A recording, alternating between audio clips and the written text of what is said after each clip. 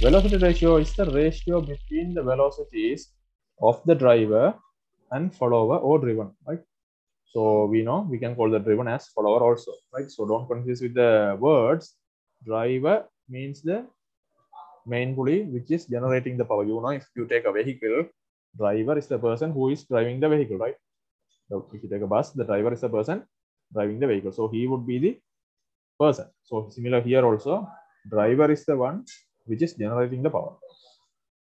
And follower or driven is that pulley which is following. Follower, you know, right? Somebody who is following the leader or somebody like that.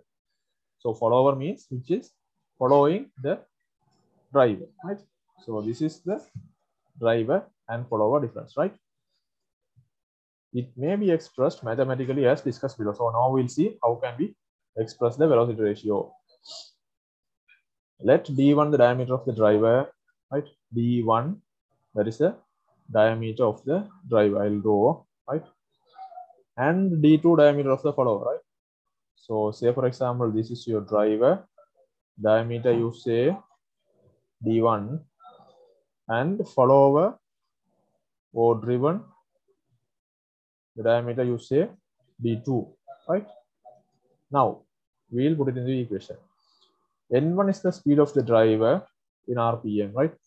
So n1 is the rpm of the driver and n2 is the rpm of the driven right? We know length of the belt passes over the driver in one minute is equal to how much? We can calculate right? Length of the belt right? Length of the belt which is passing over the driver in one minute. So what we have to do we have to find the circumference of the driver into how many times it is passing in one minute right? So circumference is pi d1 right? Circumference is pi d1 into n1 times it is passing over the driver right? Because n1 is the speed of the driver in rpm rpm means rotation per minute right?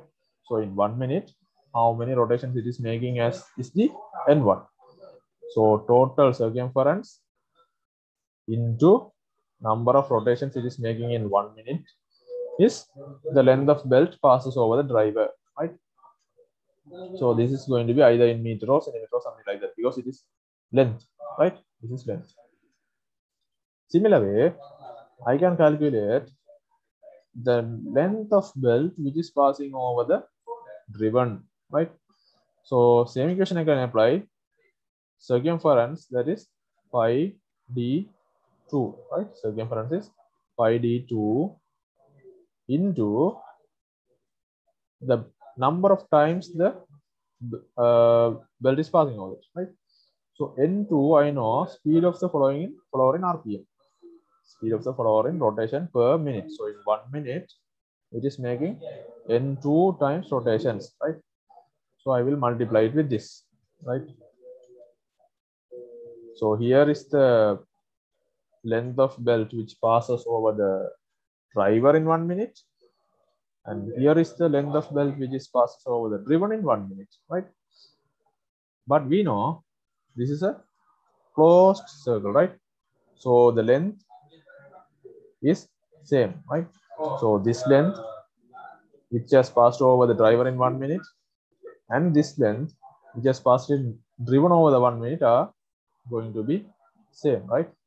They are going to be same because there is no any additional length generated in between, right?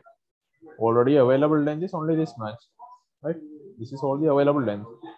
So whether it's passing over this or passing over this at one minute, how much the weight uh, length passed over these two pulleys should be equal, right? So I can put pi d1 n1 is equal to pi d2 n2. Okay, since the length of belt that passes over the driver in one minute is equal to the length of belt passes over the follower in one minute, Therefore, pi d1 n1 is equal to pi d2 n2, right? You can solve this. I have pi on both sides, right? I can remove it. So d1 n1 is equal to d2 n2, right? d1 n1 is equal to d2 n2. So I can say n1 upon n2, right? I'll bring this n2 down. So n1 upon n2 is equal to d2 upon d1, right? So your n1 come here and d1 come here, right? So n1 upon n2 is equal to d2 upon d1, right? n1 upon n2 is equal to d2 upon d1. When the thickness of the belt is considered, right?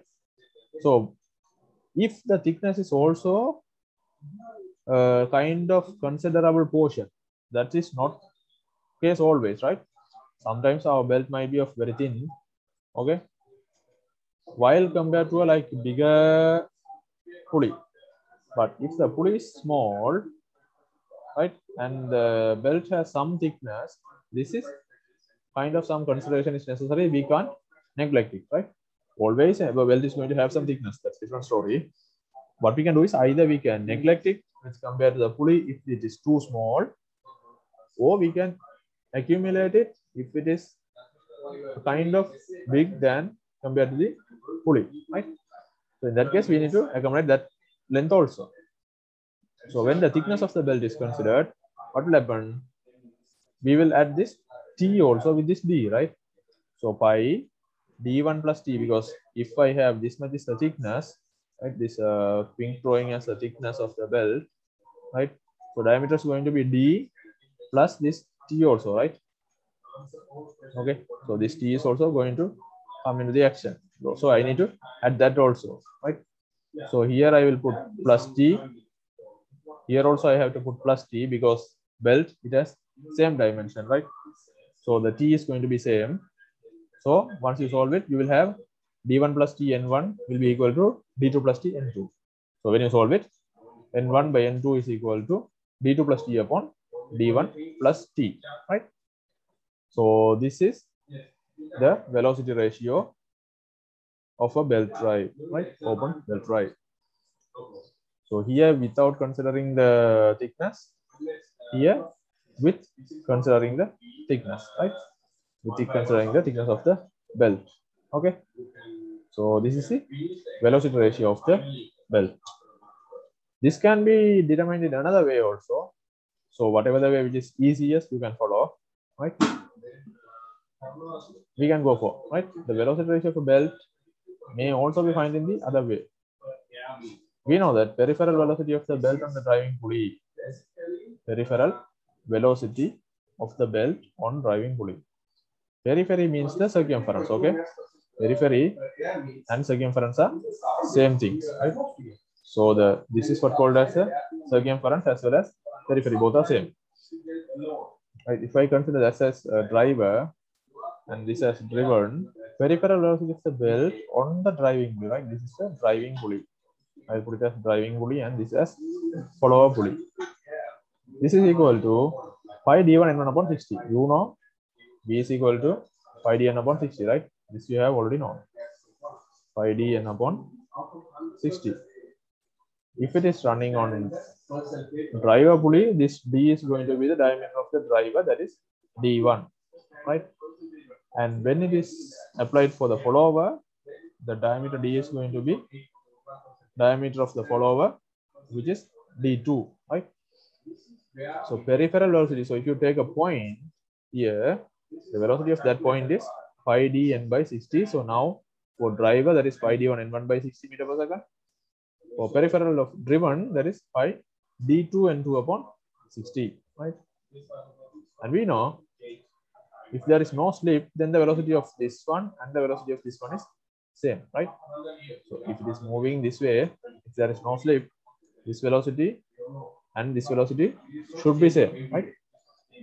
So which means this v1 and v2 are same. v1 is equal to v2, right? v1 is equal to v2.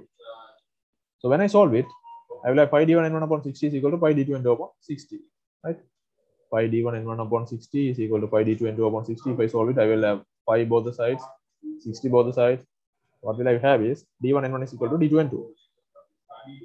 Okay. So n2 by n1 is equal to d2 d1 by d2, right? So like this way also, you can find the velocity ratio of the belt drive.